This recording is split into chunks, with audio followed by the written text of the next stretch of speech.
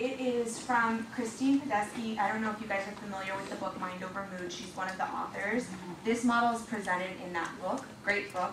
It'll be on the resource list at the end. Um, I don't know why there's little S's on it. Those aren't supposed to be there. Um, so this has, I've, I've drawn it over here because as I do the case examples, I'm actually going to model for you guys what I do in session with my patients. So you're not only getting sort of the theory behind it, but you can see kind of like how I do this. Um, but there are a couple other things that are really important in the cognitive model, and this is our kind of physical reactions or physiological sensations and our environment. Um, so starting with kind of the environment, I'm just going to illustrate for you guys how this model sort of works, and then we'll get into some specific examples so you can see the meat of it. The environment is something that obviously is external to us, but it affects everything that we do. Sometimes we can change our environment or change the situation that we're in. This goes for teens, for ourselves, for adults, for everyone. Um, but sometimes we can't change the environment. And when we can't, it still has an impact on the internal cycle of thoughts, physical reactions, moods, and behaviors. Um, so they're all intertwined, and you're going to see this really illustrated in those examples. But thoughts play a really major role in affecting our physical sensations, our behaviors, and our moods which is why kind of that book, Mind Over Mood, talks about the mind component a lot. How do we change our thoughts to change the way that we feel, to change the way that we act, and, and whatnot. So we're going to start with really looking at how our thoughts can impact each of these areas. So I think we're all pretty aware that the way that we think about things affects the way that we feel, right? But let me give you some examples. So let's say that you're talking to somebody that you know, um, and you ask them a question. So I'm setting up the situation here. This is the environment. So their reaction to you when you ask the question is they kind of make a face at you. Okay? If your thought about that is, oh no, I put them off by my question, they're angry with me, you're going to feel, I don't know, maybe upset, down, maybe you're going to be mad at yourself, maybe you'll be mad at them, right? But let's take that same situation. So you've asked this friend a question and they've made a face at you, and you notice that you smell something, mm, and you're kind of making a face too. So your thought is, I wonder what that smell is. They must be smelling it too. Your mood is going to be neutral, whatever it was before. It's probably not going to have a huge impact, right? What about um, same situation, asking this friend a question, and they make a face at you, but your thought is, wow, they've been so overwhelmed lately. They've been really distracted. I bet that they lost track of what I was saying, and now they're confused by my question well, that's going to make you feel more empathic. Maybe, um, you know, you're going to want to repeat yourself or something like that. So the mood that you experience in that situation depends totally on what your sort of perception of the situation was. Same situation, but the way that we think about it changes the way that we feel, right? so now let's do the thought behavior connection. So I'll give you guys another example. Let's imagine that you're at some family event and you see an elderly relative sitting kind of across the room and they're starting to get up from the table. If you think, oh my gosh, they need some help, your behavior is likely to be that you go help them, right? But let's say, same situation, you see them trying to get up from the table and you think, gosh, it's so great that they're still getting around on their own you're not likely to go help them in that case, right? Behavior is different. Um, similarly, if you've got you know relatives sitting near them and you notice that they're trying to get up and you're maybe thinking, ooh, they look a little unsteady, it's a good thing that my family is around to help them. You probably won't be the one to change your behavior and walk over there because you you know assess the situation and determine there's someone else to help. So those are just thoughts, same situation, has a direct impact on our behavior. Um, my favorite, though, is how our thoughts impact our physical well-being, and there's lots of examples of this, um, but I'll give you one that, uh, that is one of my favorites. And, you know, when I was learning this model, it always kind of struck me odd. How can the way that we think about things actually affect us really physically, like directly, like not indirectly? But there's research to say, for example, that when people get a cancer diagnosis, if their beliefs, so their thoughts, are that this is beatable, they actually have a longer lifespan than if they believe that it's a death sentence. And so and there's lots of different kinds of examples about this, but it's the way that we think about things can actually affect our physical well-being. Um, and so thoughts are very powerful. Um, so this cycle, uh, it all reinforces itself. I mean, if you imagine just that initial situation where, you know, you're talking to a friend and you, you know, they make a face at you and your, you know, your thoughts are that they are, you put them off in some way and they, they must be irritated with you. You might feel bad about that. Then you might be likely to stop talking. You might get nervous about it. When we get nervous, like starts pounding, things like that. And then you might be, you know, stopping the conversation and then thinking I'm feeling really bad that I put them off, so you're feeling worse in the mood, and you can kind of see how all of these things play off of each other and it just continues. Um, so let's move on to some specific examples. okay, so this is, I realize what the S's are, that's because my formatting is off, so it's thoughts, physical reactions, so I'm sorry about that. Um, this is where I'm going to use the whiteboard with you guys. So um, the first example is going to be a teenager who is acting out. Um, so you might get a call, I've had cases like this where they're like, you know, my kid is you know, sneaking out of the house, my kid's experimenting with drugs, my kid is experimenting sexually, something that they're not pleased that their kid is doing, um, and I don't know what to do, can you help me? So what we want to look at is, is that normal teen behavior? Are they curious? Are they testing the limits? Is that what's happening? Or is there something underlying going on? So what I'm going to show you is sort of what this cycle looks like when there is something going on, um, more than just sort of normal teen behavior. So we already know the behavior. The behavior is acting out. I'll put that and then try to get out of the way. So the behavior is acting out. So what we want to look for is we want to look for if the team is acting out, now you know you have them in your office, why are they acting out? What is the underlying motivation for them acting out? Um, so you try, so when that happens, we look for thoughts that are sort of like some apathy, depression, just sort of like, I don't really care about anything. Those are the kind of thoughts we're looking for to see if this acting out might be related to something more like depression. So the thoughts are going to be, um, why not? Like, so what are you thinking when you're doing this acting out behavior? Well, why not? Um, a really good one, if you can get them to say it, although it can be tricky, is like, I don't feel much anyway. and I'm just gonna put dot dot dot, so I'm not writing forever, but I don't feel much anyway, so maybe there's doing this thing that's kind of exciting and out of the norm, maybe that's gonna make me feel something, because they're feeling kind of numb, right? Which, I skipped ahead, but there we go. Um, not that numb is a mood, but it's uh, kind of the opposite of it, so it goes in that category. Um, maybe this will make me happy. or excited. And again, that's that. I'm not feeling anything. Let me try something extreme to see if I can kind of jolt myself into this. You're looking for anything about the why and the motivation, anything that might, you're kind of fishing. Is there anything that might make you consider that this is more of a depression rather than just kind of rebellion? So then we look at mood.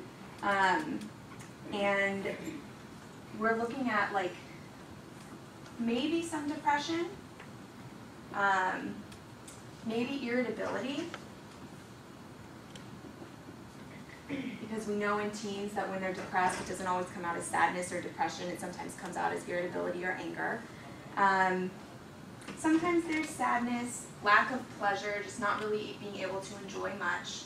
In these kinds of cases, usually it's numb. I don't feel much of anything. What's your mood like? I don't know. I don't really feel anything. They're not sad. They're not happy. They're just numb. Um, physically, what you're looking for in these situations is probably more along the lines of depression. So we're looking for like low energy, lethargy, maybe sitting around a lot, maybe being slowed down, um, wanting to sleep a lot, generally tired, and all of that kind of thing. So we've got kind of this cycle. Then what I tend to ask them is like, okay, well, we have this behavior, we've kind of labeled everything here. So you acted out, did it work? And usually if we're dealing with something like teen depression that's coming out in this way, what we're seeing is that it didn't work. They didn't really feel anything different. And then sometimes they feel guilty. Well, if they're feeling guilty, that's going to affect their thoughts, right? Why did I do that? Some name, self name calling. I'm so stupid. I'm an idiot. Why did I think that would help? And then sometimes even, maybe I should I should try something else, right? Like more extreme, something else. So sneaking out of the house didn't work. That wasn't enough of a thrill to make me feel something. So maybe I should try something else. So this can actually increase, which then if it's still not working, we're coming back to this. Well, if we're thinking, why did I do that? I'm so stupid. I can't figure anything out. Nothing's working. Of course, we're going to feel more depressed, right? Which is going to increase these physical sensations. We're not going to feel much, which is going to make us try something else because nothing's working. Might as well be more extreme. You guys can kind of see the problem here. The cycle reinforces itself. So, we also know, we're going to talk about kind of the consequences of these behaviors. Like, obviously, if we stay, if we allow the teen to stay in this cycle, the consequences here are pretty obvious. There's negative consequences to acting out, and it just depends which form of acting out they've chosen. So, that's one example. This is what we're looking for to see if the acting out behaviors are something like depression. And you can tell the role that the thoughts have in this if we can get to why they're doing it then we're going to have a much better sense of what's going on. So, I'm going to erase this and we're going to do the next example.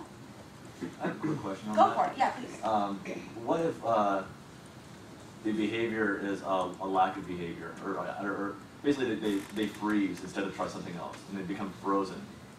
Great question. Um, we will, I might have, one of the other examples that I'm going to give might address it more, but basically what we're looking for there is kind of, we do the same sort of process and we'd expect to see like if they're freezing and they're not doing, one of my examples is like not doing homework, so we'll just jump to that real quick. So if we say, okay, they're not doing any homework, um, we want to see what their thoughts are about it, right? Like why aren't you doing the homework? Um, what, you know, what are the, what are the kind of driving thoughts behind it? So it might be it's too much, um, I can't do it. That's a big one in these, these kinds of situations. I can't, I can't do it. I'm not capable of doing it, which you can kind of hear that low self-esteem, the depre- depression, self-talk, basically that we're talking about. Um, and the way that that cycle reinforces, like I said, I'll, I'll get to in a minute, but basically, you know, it's we have to stop that cycle too. Just because they're not acting out does not make it a positive cycle. Um, they're still stuck, right? They're still not doing anything, which might mean not going to school, which is the next example, not doing their homework, uh, not engaging with friends or family, isolating, still a negative cycle. Um, and so we would look for, actually the cycle wouldn't look that different when you're kind of assessing for it. We would just expect different kinds of thoughts other than like, oh, I should try something extreme. It's more like, I don't feel like doing anything, nothing's gonna work anyway. It has a little more of like a hopeless flair to it. Does that make sense? Yeah. Um, and I think if that doesn't answer the full question, let me know at the end of the case examples and I'll come back to it. Question. Go for it. Um, how do you differentiate stress and depression? And is depression and anxiety sometimes an underlying of stress? Yes. Because often I hear teenagers say, it's the stress. Yes. And I think sometimes it's exactly the same thing. Sometimes stress is depression and anxiety, and that's just a different word for it. Um, sometimes teenagers come in, you know, I think, I know I'm guilty of this. I, I use the word anxiety all the time. I'm very familiar with it. It's one of the things that I treat the most. I know the word anxiety. Teens don't always know the word anxiety. Like they've heard it, but what is that really? That's not the word they necessarily use at school. They use the word stress, right? So sometimes stress is depression and anxiety. Sometimes the stress causes depression and anxiety. And sometimes being depressed and anxious makes it really hard to do things like go to school, do homework, things like that. And that causes more stress because now they're behind and now they're, you know, worrying about different things. And you think high, high risk uh, behavior is sometimes normal, adolescence? Absolutely. And so this is the thing. This is why we're looking at this kind of from all of these different um, angles and trying to look at what this cycle would look like if it's being motivated by depression, anxiety, overwhelm, if it's a mental health concern. Because some of this is normal teen behavior. Usually what you'll see in the one that I just erased is they're less, they're not so motivated to change. Usually when I have a teen with me who is acting out because they're depressed, they're not real happy with how things are going. They're upset. They want something to be different. They just don't know what's going on or how to make it different. But they're not happy. When it's more kind of like experimental team behavior, more fun, um, they don't necessarily want it to change. They're not necessarily upset by it. I mean, they may not like the consequences of it, but there might not be that motivation. Um, and that's where kind of the mood comes in and our kind of clinical judgment. Do they seem depressed to you? You know, if you've got a teen in there who's sneaking out of the house to try to feel something because they're kind of numb, they'll usually tell you, yeah, that kind of makes sense, and man, this isn't working for me. But absolutely, sometimes it's mentioned in the sense of control. Uh, in the first set with the teens who are acting out in a developmentally appropriate manner, Mm-hmm. uh, it's, like they maintain a sense of control of the behavior and the mood states. Absolutely. And it's and it's he's so he's saying it's not necessarily that they have more a teen who's doing this more in a developmentally appropriate way is going to have more control over what they're doing. And they're not necessarily gonna have this thought of like, well that didn't work, I better do something more, I better do something more. It's you know, it's a little bit different um, in that way. So I'm gonna go on to the next example, so we make sure we get through it all, which is school refusal. This is something that I see probably more than the rest of the stuff that I, I talk about. Um, and especially people who work at schools, if they're not uh, kind of in the mental health community, this gets labeled as defiance. That kid won't come to school, their attendance is poor, they're truant. Well, I mean, there, there are problems. Kids are legally supposed to be in school, so it, it is a problem. But a lot of times, school refusal, like lots of kids don't like going to school. Most of them can get there anyway. So, what's going on in school refusal? Um, these are the kids who can't get themselves to go in the morning. These aren't usually the kids who get there and then they ditch class. These are the kids who can't get in the car to go with their parent to school for some reason. But, you know, parents, school officials, they don't really know what's going on, and so I'll get calls, my kid won't go to school, I don't know what to do. So, here's what we look for to kind of assess that situation.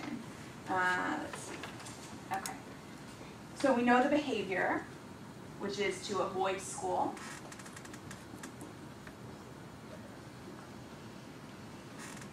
So then we start looking at, at their thoughts. Why don't you want to go to school? What's going on? How come? When you think about the fact that it's time to go to school, what's running through your head? So probably you'll, they'll start with like, I don't want to, right? But what else? What might happen if you did go to school? It's a great question to ask. You're gonna get thoughts often that sound like worry thoughts, anxiety thoughts, kind of like uh, my teachers might be mad because I've already missed school. You're looking for um, fears about judgment. My friends will think that it's weird that I missed school.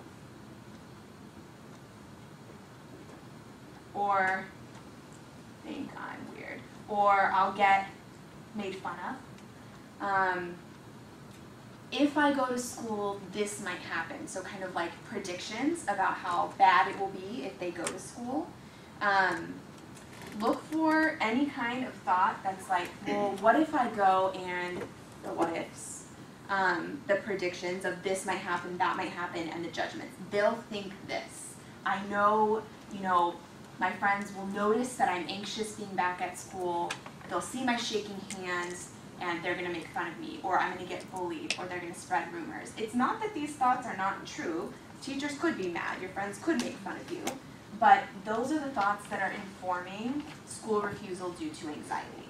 So when you ask them, when they kind of get this, sort of makes sense. Even if the kid's not giving you very much, I mean, anyone who's thinking, oh my gosh, everyone's gonna be mad at me, and then this might happen, and that might happen, my friends are gonna think I'm weird, anyone thinking thoughts like that is going to be anxious or scared or worried, and this is where ooh, that was messy.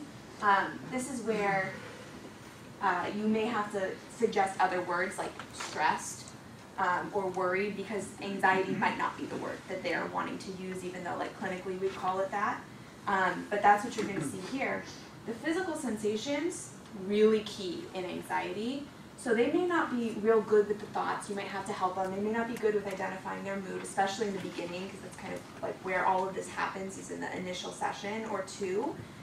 What happens physically when it's time to get in the car and go to school? So mom says, okay, here we go, get dressed, we've got to go to school. What happens physically? Does your heart rate go up? Oh yeah, my heart rate goes up. Hard to breathe, feels like an elephant sitting on my chest. All of these sensations that we know go with anxiety. So fast heart rate, low, like worse breathing. And for kids, lots of, well, this is for everyone, stomach aches. That's really common in anxiety but also headaches and just generally feeling off, feeling dizzy, sweaty, flushing, shaking, all this stuff. That's that's how you know. Because a lot of times with kids, they may not be able to do this, but they know physically that they're not feeling quite right. So this is kind of what that cycle looks like. Now, there is a big problem with it, and it's because it's the avoidance cycle The avoidance cycle is a really big problem because it's avoidance is really really reinforcing in itself so everybody think think about a time where you know you were supposed to do something something that was going to make you uncomfortable but you kind of knew you should do it for whatever reason you decided not to so you're kind of dreading it you don't really look forward to it but you know you need to and then you decide you know what forget it this time i'm not going to do it how do you feel that moment you decide that you don't have to do it, you let yourself off the hook, you usually feel so relieved, right? Whew, okay, good, I don't have to deal with that, right? Sweet, sweet relief. So the problem with that is that that means avoidance in the short term feels really good. Oh, I'm not going to go to school today. I can't make myself go. Mom says, I don't know what to do with you. Fine, you don't have to go. I don't have to go to school. Oh, I feel so good. So then tomorrow, when it's time to go to school again, they remember how good it felt yesterday when they didn't have to go. That is very reinforcing. So then they want to continue this cycle. The other problem with avoidance is that it actually sends, it's not necessarily a conscious thought, but it sends the message that this, this going to school thing is too much for me to handle. I can't deal with it. Clearly, evidenced by the fact that I haven't been dealing with it. So I can't do it. So then when they try to do it tomorrow, they remember that yesterday they couldn't, so must not be able to handle it, and that yesterday actually felt great because they didn't have to go. So it's really, really important to break the cycle because you can imagine if we keep avoiding school, these thoughts are only going to intensify. I've missed more school now. Everyone's going to think it's weird that I've been gone for so long. I'm going to be so behind in my homework. Really anxious about it every time they have to go, this is just going to get worse. They're going to be more likely to avoid. So the cycle kind of reinforces itself. Does that make sense? Okay. Um, let's see. Okay, so I'm going to move on to the next one, which kind of combines the two. And this is, so this is sort of like anxiety cycle. Um, it could be general anxiety. Actually, usually this is social anxiety from my experience. It's usually worry about like the judgment of teachers, other classmates and things like that, but it could be more like school phobia or performance anxiety or something like that. Um, but the last one, homework refusal, kind of combines depression and anxiety. It's going to depend on the teen, um, which one is more prominent, but it kind of tends to go together. Um, so it's a nice one to tie it together with, with all of this. So.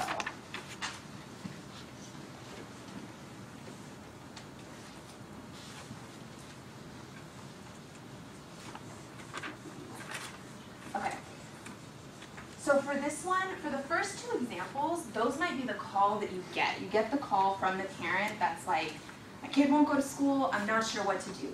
School is mad, I don't know how to handle this. Um, in the first one, acting out, my teen is acting out, and I, I don't know how to handle that either. You know, those are the calls you get.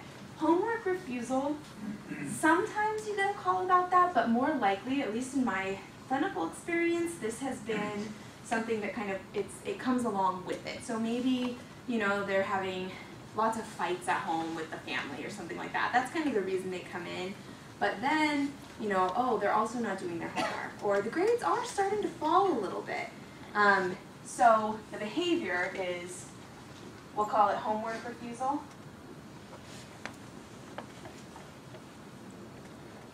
And this could be like sitting at the table for like hours and just not getting anything done.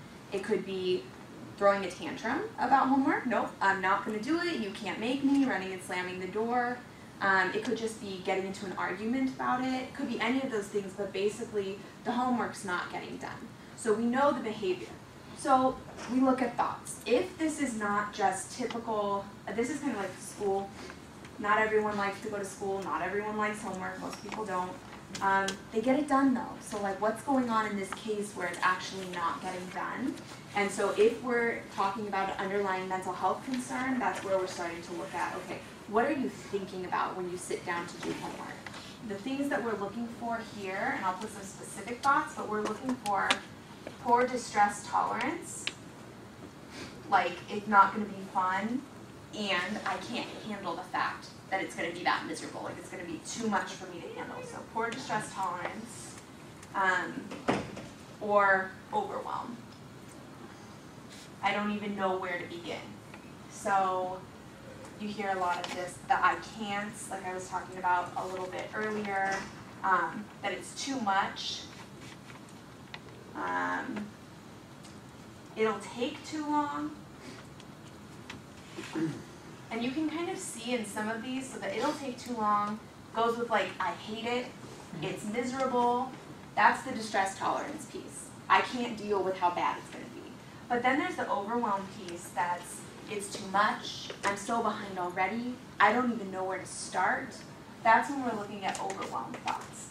So like, wow, okay, if you're thinking, I can't, it's way too much, you know, I'm feeling overwhelmed, we can put that right here in the mood. Okay, so you're feeling overwhelmed. This is where it could be depression or anxiety. Overwhelmed can be nerves that you won't be able to do it, worry about if you'll be able to complete it, if you won't, things like that. It could also be depression, like I can't, like I just, like, sort of like the self-esteem thing, like I don't think I'm capable of that. So it could be either one. You're gonna have to talk to the team to figure out which it is, but I'll just put both here for this, for the- for these purposes. So depression, anxiety, feeling overwhelmed. Um, part of what will help is the physical sensations again. It's such an important part of the model. Um, if they're depressed, they're going to be again slow. Feel like it takes them forever, or maybe it does take them forever to complete something. Um, really just like low energy, really low motivation. If we're looking at something that's more anxiety, they're gonna be more like agitated physically. So if they're really worried about it and they sit down to do it, they might feel their heart start to race, so that fast heart rate again. They might have a stomach ache, which could also be depression. um, so i in, in these situations, I mean, honestly, typically it's a combination of both. Now, obviously, there's negative consequences to not doing your homework because when you don't do your homework, you get poor grades, your teachers may get mad at you, your parents get mad at you, there's all kinds of negative things um, that happen because of it. Um, and usually what happens if we look at this cycle, okay, I'm not doing my homework because I can't, it's too much, I hate it, feeling overwhelmed, depressed, having whatever physical sensations contribute to this. Well, when we're depressed or anxious, we know from the first, well, we know from the school refusal example that when we're anxious, we don't want to do the thing that makes us anxious. That's kind of natural. Nobody wants to do the thing that doesn't feel good. So we're likely to avoid our homework, right? Well, also, when we're depressed and we have no energy, we're feeling no motivation, we'd just rather sit around, nothing sounds good to us, we might act out, but if we don't act out, this is the freeze question, we basically avoid again. And it's not because necessarily that we're anxious about it, but just because we don't feel like doing anything.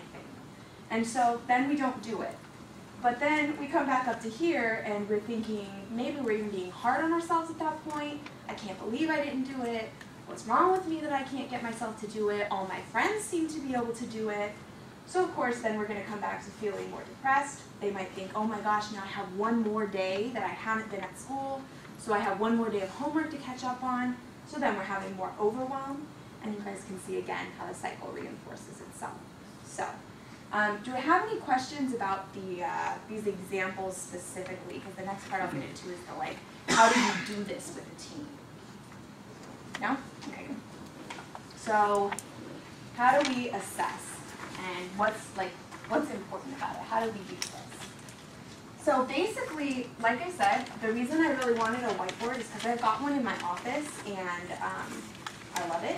And I write on it just like this with my teens, with their parents, and kind of, you know, illustrate the whole thing. So what I'll start with is, okay, we know the behavior, like we know that's why you're here, right? You're doing X, Y, or Z. So what what are your thoughts? Like let's let's have you answer, you know, I'll ask the team directly. Um, this cycle, I can't tell you what great feedback I have gotten about it, putting it on paper or on the board for people to see. Because especially with teens, although I think with adults too, people get overwhelmed in therapy, especially in the beginning when they're trying to figure out like, is this relationship gonna work? Is this gonna be helpful? They can get distracted. Always bring it, you can always bring it back to this, and if they've missed something, here it is in plain writing, right? They like to be able to see that. Um, so we make it real personal. What is their kind of cycle? How is this working for them? So we know the behavior. I ask them, what are you like? What's going through your head? Just kind of like I said out loud with you guys as I was doing this. What's going through your head? Now with teenagers, sometimes you'll get great answers. Sometimes you'll get I don't know. I don't know what I'm thinking. I have no idea. So we have to be, you know, we have to have some other suggestions. So usually one of like one of my favorite questions is if we had to guess what you might be thinking in that situation, what do you think it would be? There's no right or wrong answers here. Let's just take a wild guess about what might be going through your mind. Usually, the reason they can think of a guess that might be going through their mind is because they're familiar with those thoughts.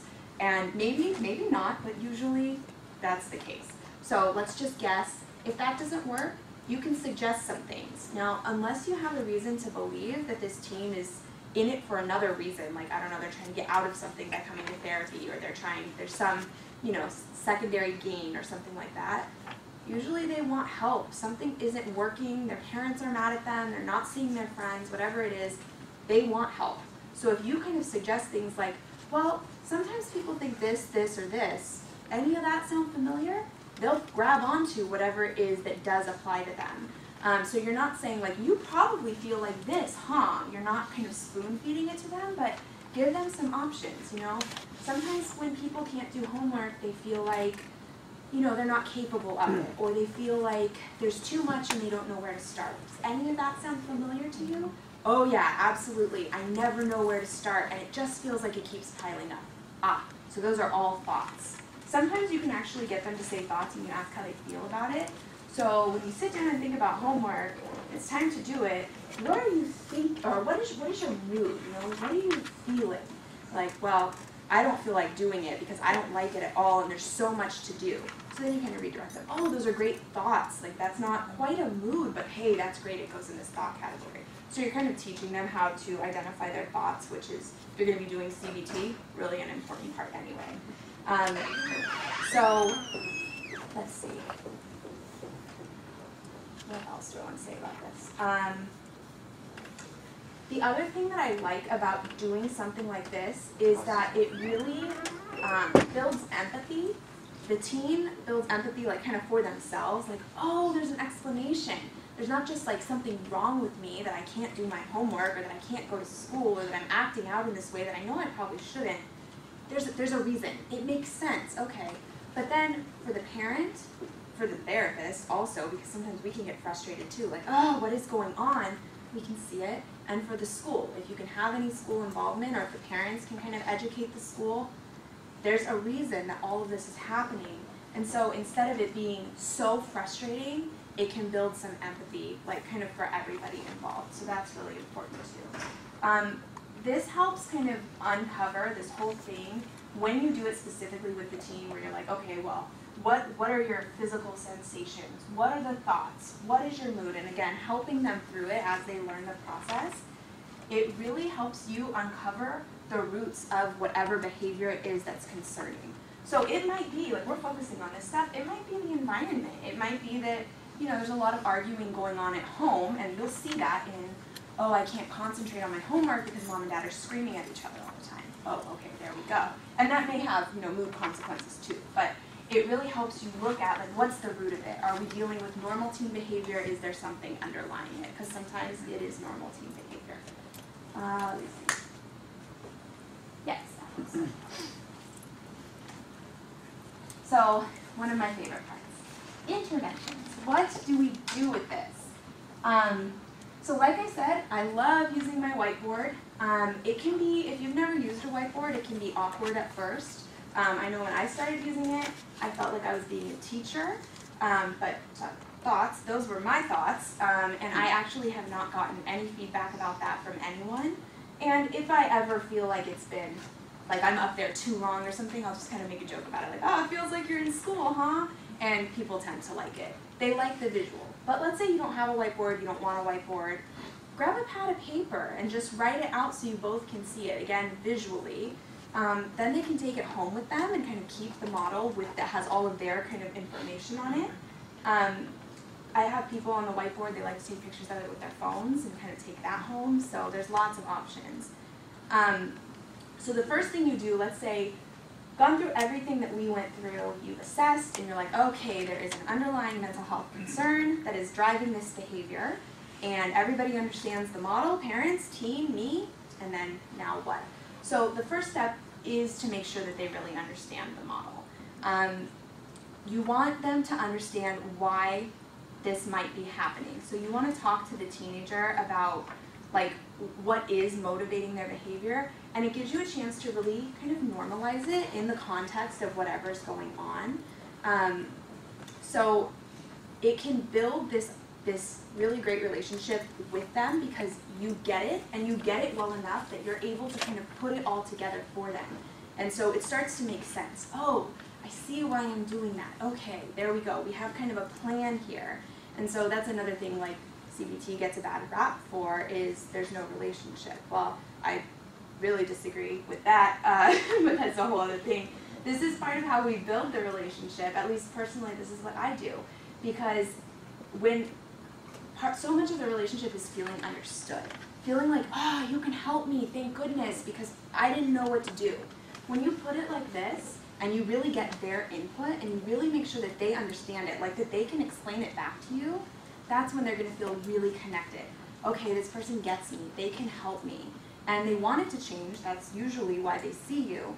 Um, and so that's kind of the, the, the first step in that relationship piece. This also helps them understand the rationale for the things that you're going to ask them to do. So I'll get to that in a second, but when they can see that their behavior is really reinforcing all of this and that their behavior is kind of getting them into trouble, right? We talked about with all three examples how there's kind of problems with acting out, problems with not going to school, problems with not doing homework. They can start to see it. Now, if we want something to change, we have to change something. The hard part. They're not going to want to change the behavior because this is comfortable. Even if it's miserable, it's comfortable.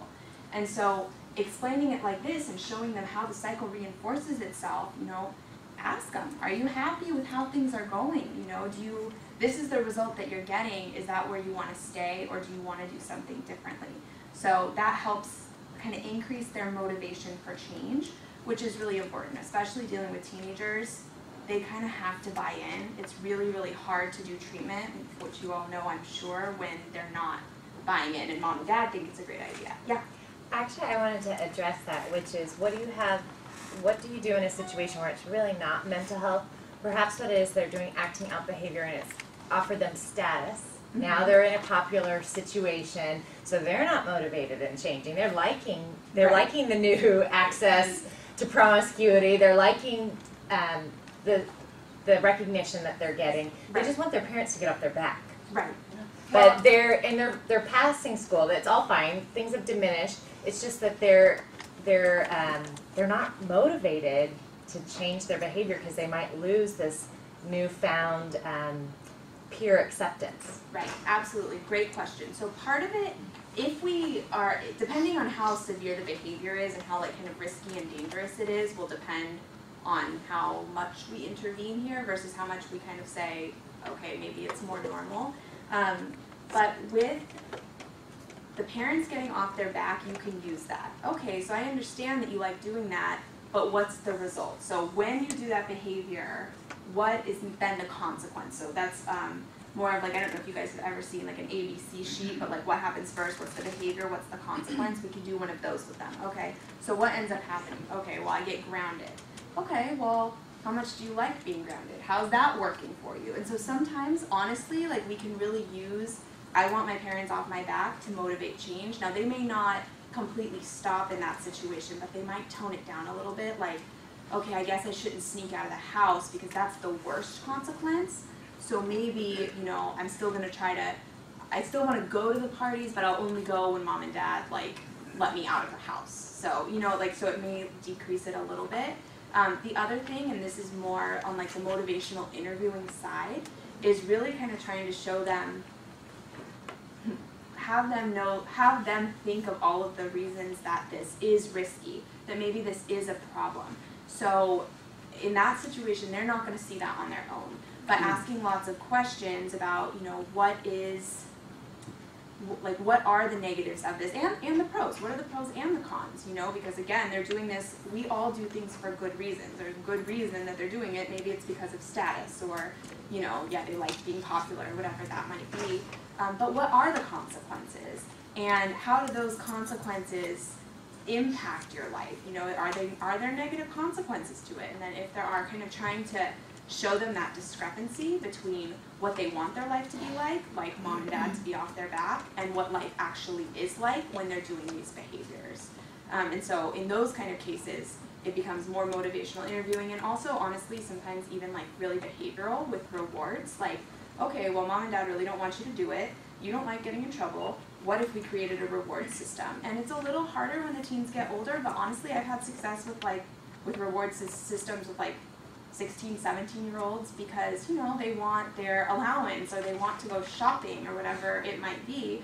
So sometimes you can say like, okay, well if we see, you know, these kinds of behaviors, and that kind of actually ties right in with something else that you do here, we set goals. And so if you can set a goal that's very measurable, like if we if you don't sneak out for I don't know how you'd measure that with the parents because they're sneaking out they're not supposed to get caught but if you don't um, don't you we're gonna go on the honor system you don't use any drugs for you know a whole week then you can have X. Or like if you're not hanging out with that person um, who we don't like who they, we think is a bad influence you can earn X or something like that something really measurable. Um, just kind of like the little I don't know if you guys are familiar with child treatment but doing like sticker systems. Like if you do X, Y, or Z, you get a sticker, and when you get five stickers, you get to pick a prize. Kind of like that. We just make it age appropriate. Um, and so you can see a lot of it has to do with motivation because truly, you know, there's not a whole lot you can do once teens get like much older and they're like close to being independent. They are going to do a lot of what they want to do. So we have to increase their motivation and then, of course, if they're doing really extreme behaviors, we're talking about something different. We're talking about like residential treatment or something like that. So what you're talking about is behavior reinforcement. Mm-hmm. We, if they wanna see a shift in behavior from maladaptive unhealthy behavior to healthy behaviors, we need to see reinforcement of those healthy behaviors. Absolutely, reinforcement of healthy behaviors, exactly. And ideally, you know, and that, that can draw the motivation. That can be, the behavioral reinforcement can be the reason that they're motivated to make that change when they otherwise wouldn't be. Sometimes it works, you know, and we have to get creative with them. Um, usually, honestly, one of my strategies with them is just to be real honest, you know, like, I get that you like the popularity, um, and that makes sense. But mom and dad are on your back, and what are we going to do about it if you don't want them on your back? You know, well, I'm going to have to change X, Y, or Z. Um, does that kind of help a little bit? um, okay, so we set set goals. The other thing about goals is we really do want to make them really measurable because otherwise, so like we're like, okay, we've got all of this stuff. I understand the model. Um, I'm motivated to make some kind of change, but then what kind of change are we gonna make? And that's where the goal setting starts coming in. Um, and so the very beginning is going to probably be behavior change, and let's make it real specific. You know, I want to go to school all day, every day. That's my goal. So no skipping school, no leaving school early. That's the ultimate goal. Or I want to complete five homework assignments a day, right? Something like that. So then we can start changing behavior to work toward that specific goal. That directs our treatment. Then we know what to do. Okay, so school refusal is the problem, so we know that the goal is going to be something about getting you back to school. How are we going to do it? Let's kind of set some steps up for, you know, making sure that you start facing it. So this is the other thing. In the in these cycles, like I said, behavior change is usually a good starting point. So if we're talking about anxiety, that means we can't avoid the situation because the avoidance is going to reinforce the cycle. That means we have to face it. And so that's kind of like one of the things. With depression, it's not really so different. It's kind of like this act opposite approach. If you're depressed and you don't want to do your homework, we've got to get you doing a little bit of your homework. If you're depressed and you're acting out, we've got to start having some boundaries. That's a tough one, but usually when it is some kind of underlying depression, the team is more motivated to do it because they kind of know this isn't really the path I want to be on. I just don't know what else to do. So we set some boundaries and get them to commit to you. Okay, I will not sneak out the window. I promise. Between now and next week, I won't. I mean, it's not ironclad, but you know, we, we need their motivation, we need their buy-in, and so we start kind of with that behavior change. Um, with anxiety I had, I run two social anxiety groups, and the one for teens, I had a teen. As I was kind of explaining this, she said, ah, so I know what we're supposed to do. We're supposed to avoid avoidance. And I thought that was such a clever, truly, that's kind of what we have to do. And that goes for depression and anxiety. It's this act opposite, avoid avoidance sort of thing. Um, the other thing that's important, like, so we've set the goal, kind of know, like, starting with some minor behavior change, and we want to make it like attainable. So if the goal is to go back to school all day, every day, we don't start there. We start with, can you go for one period tomorrow? Um, and then maybe the next day you could go for two periods and things like that. We just try to kind of make it so that they can handle it. The other thing we want to do is really monitor their progress, and so it might be that we can monitor it like that. How much progress are they making toward the goal? But there are other ways too. Like we can ask them on a one to ten scale, how depressed are you? How happy are you? How worried are you? And then you can kind of check in with them on that on a weekly basis. Okay, this week, you know, think back over the whole week. How worried were you this week? Um, there are also scales that we can use to kind of monitor that sort of thing. So in the Mind Over Mood book, there are like uh, depression and anxiety scales. They both work great for teens. Um, read through them because depending on your teen, there might be a couple to modify, kind remove so that it's age appropriate. But generally speaking, then you have a score, and then you can look at it kind of from an objective point of view. How how are they doing? Are their scores decreasing and things like that? Uh, the next step after all of this, so we've kind of gone through the, the beginnings of this intervention sort of process. We start with the behavior, then we move into kind of changing the thoughts, and that is, you know, if I had a part two, that would be what part two would be about. But instead, what I'm going to do is just kind of direct you to the resource list that I have here. So you see, Mind Over Mood is one of the first ones this is where like they, they get more into the meat of how do you do the rest of this. So this is like the beginning, the assessment, and how do we start.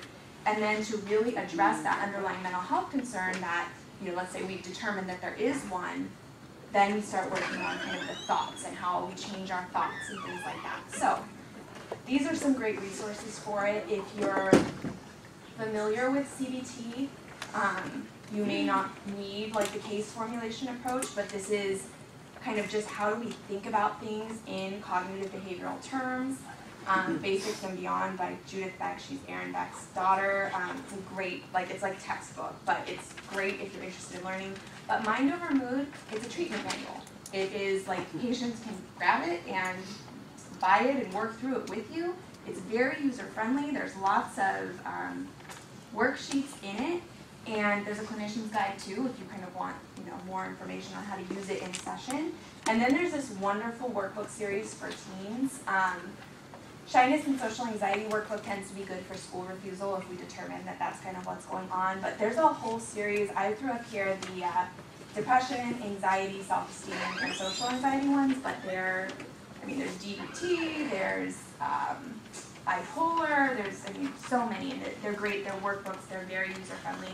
They're a little bit young sometimes, um, but even with older teens, I use them, and I'm like, oh, you know, it's kind of silly that it's a little bit young, like, don't worry about it, and then we know that the material is age appropriate and they're getting it. Um, the website here, Padesky.com, is Christine Padesky's website. There are tons of resources on there. Um, lots of information, book recommendations, I mean, everything you could think of. So I just want to direct you to that as well. Um, so that if you like this model and it kind of seems like it could work for you, but you're like, okay, so that's just the beginning, it's just a taste, what next? That's what's next. So uh, I will move on to if you guys have any questions, but I'll leave, I'll leave that slide actually back. So, yeah.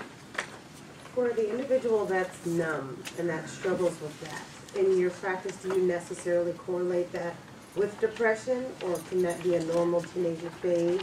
And either way, how do you enter the CBT process? Their thoughts are gonna be no, the mood's gonna be no, where do you enter? Good question. Um, it can be normal, um, that they just don't feel a lot. Um, and it, and it can be depression, so it could be either one. And the way that we start to know is really by like engaging in this. I would ask them, I mean, the things that I'd be looking for are like, I would probably start with if we had behavior. Do you think like that, is there a behavior problem in these situations, would you think? Or possibly, possibly not?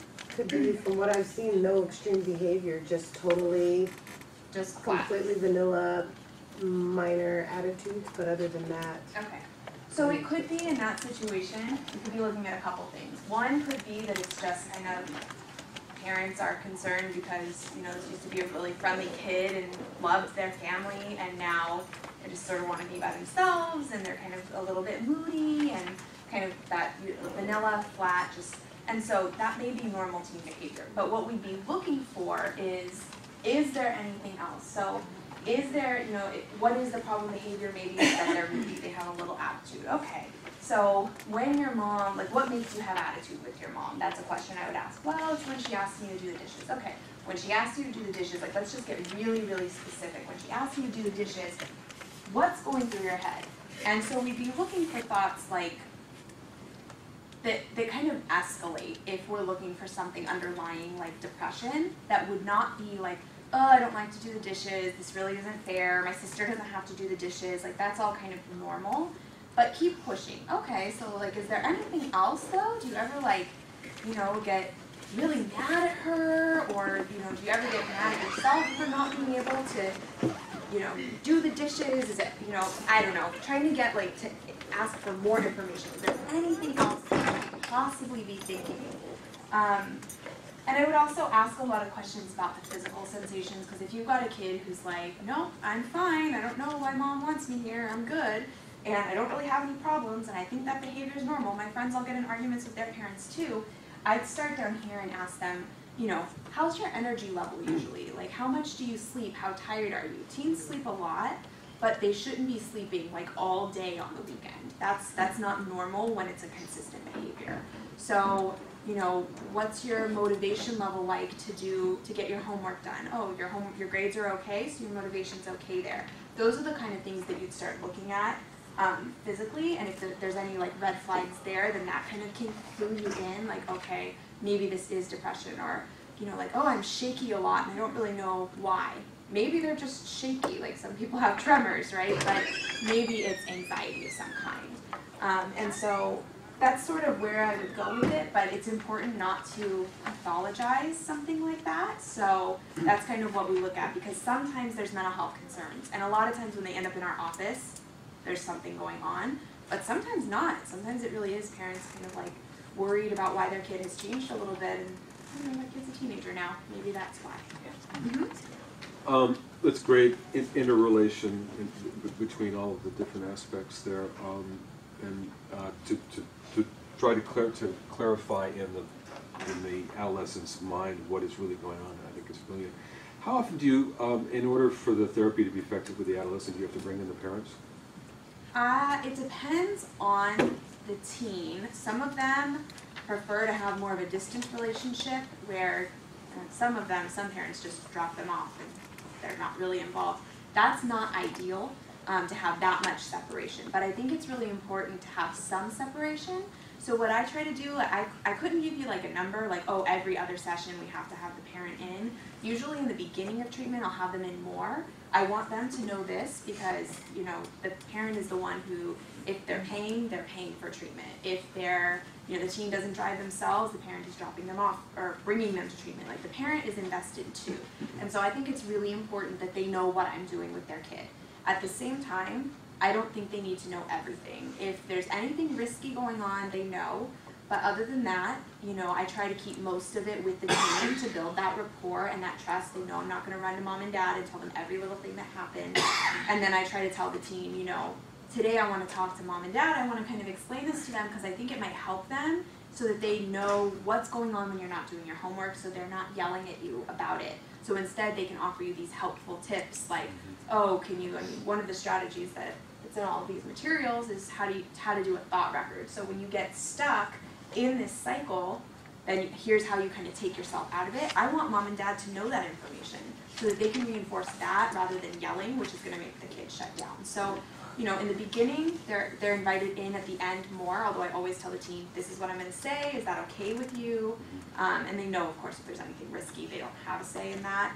Um, but as kind of treatment progresses, it's less often, um, and but I do try to keep them informed because again, like they may be seeing something I'm not seeing. They're with their kid all the time. I'm with them like an hour a week. Other questions? Okay, cool. Thanks, you guys. Thank you.